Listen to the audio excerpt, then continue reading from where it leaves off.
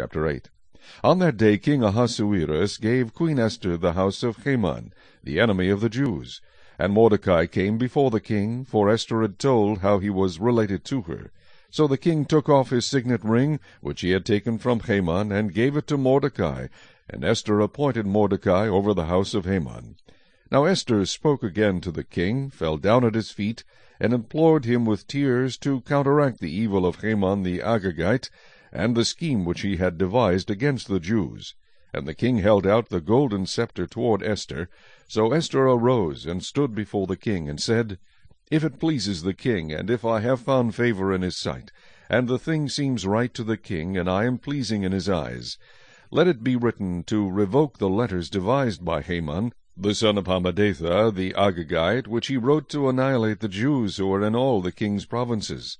For how can I endure to see the evil that will come to my people? Or how can I endure to see the destruction of my countrymen? Then King Ahasuerus said to Queen Esther and Mordecai the Jew, Indeed, I have given Esther the house of Haman, and they have hanged him on the gallows because he tried to lay his hand on the Jews.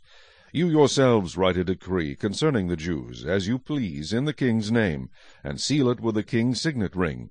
For whatever is written in the king's name, and sealed with the king's signet ring, no one can revoke.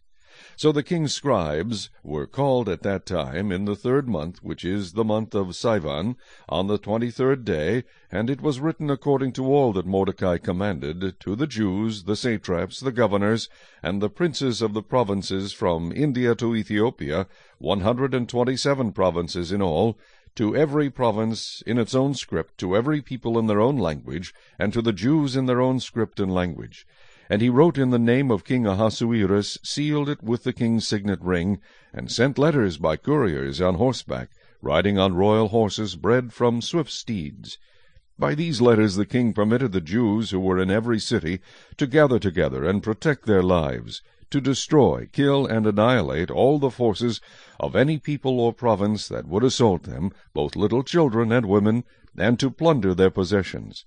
On one day in all the provinces of King Ahasuerus, on the thirteenth day of the twelfth month, which is the month of Adar, a copy of the document was to be issued as a decree in every province, and published for all people, so that the Jews would be ready on that day to avenge themselves on their enemies. The couriers who rode on royal horses went out, hastened and pressed on by the king's command, and the decree was issued in Shushan the citadel. So Mordecai went out from the presence of the king in royal apparel of blue and white, with a great crown of gold, and a garment of fine linen and purple. And the city of Shushan rejoiced and was glad. The Jews had light and gladness, joy and honor. And in every province and city, wherever the king's command and decree came, the Jews had joy and gladness, a feast and a holiday. Then many of the people of the land became Jews, because fear of the Jews fell upon them.